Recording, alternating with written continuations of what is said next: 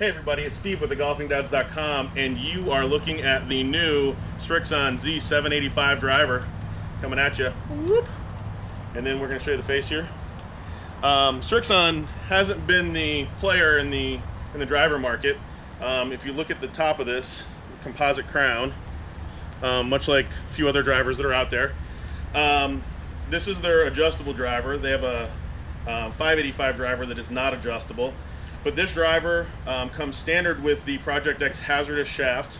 Um, I've got the HZRDUS black here, which is what I had in my other driver. Um, you can take this driver and set it to different loft variations. I have the 9.5 version. I've got it set at 9.5. We're going to hit a couple with it at 9.5, and then we're going to go from there. Um, in our testing, we found this to be a pretty good loft for us um, compared to my other driver that I was carrying that had an 8.5 driver uh, driver head on it.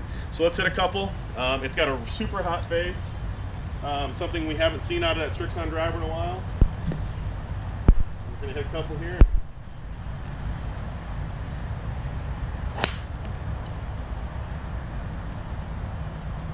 One of the things we found with this driver is you don't even have to swing hard and the ball just jumps and explodes off the club face.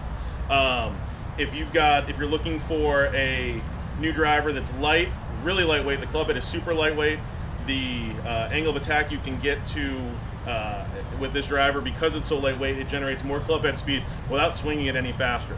So that's a really cool effect.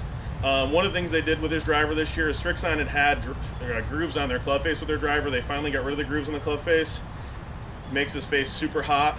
Um, we really like it. And I have a feeling that it's actually coming my driver is coming out of my bag and this is going in it um, because it's going to give me that advantage. If you're looking for a new driver today be sure you check out the new Srixon 785 driver because it will be in your bag quickly too.